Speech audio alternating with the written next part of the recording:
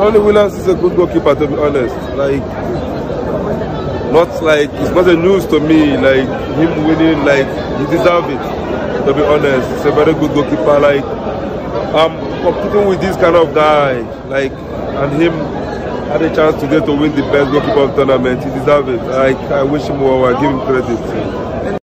Ronwen Williams won the Cup of the Nations Goalkeeper of the Tournament award and it was announced after Saturday night's final where host Ivory Coast beat Nigeria with a 2-1 in Abidjan. Bafana Bafana also won their Fair Play award and were the bronze medalist. The captain of Bafana Bafana helped his team to a first third place finish since 2000, including an unheard of four stops in the penalty shootout in the quarterfinal against Cape Verde.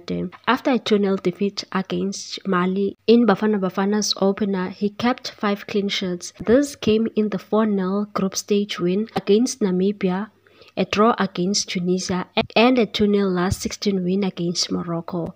There was also the nil-nil extra time result in the quarterfinal against Cape Verde and goalless full-time third place playoff result against Democratic Republic of Congo. Ronwen conceded a goal in the 1-1 result after extra time in the semi-final against Nigeria, who won on penalties. He made two saves in the third place penalty shootout after the two goals against Mali.